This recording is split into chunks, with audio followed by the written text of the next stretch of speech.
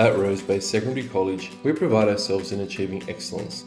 Our social sciences faculty always strive towards meeting the high expectations that we strive for in ourselves and facilitating quality teaching and learning for our students.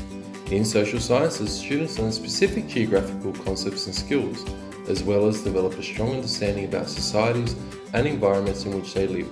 Geography is a mandatory subject for all students in years 7 to 10. Students also have the opportunity to study commerce in years 9 and 10.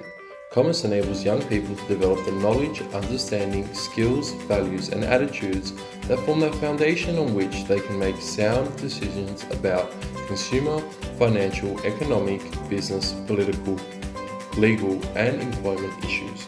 In the senior years, we offer geography, business studies, legal studies, economics, and work studies. The study of social sciences provides students with the opportunity to research, gather, and analyze information, as well as question and make judgments and write for a variety of purposes. These skills and knowledge that students develop during the study of social science subjects provides them with a strong foundation for further learning beyond school and equips them as real-world learners. As you have seen during this video, social sciences have a strong real world focus where fieldwork and other excursions are a key part of the learning experience.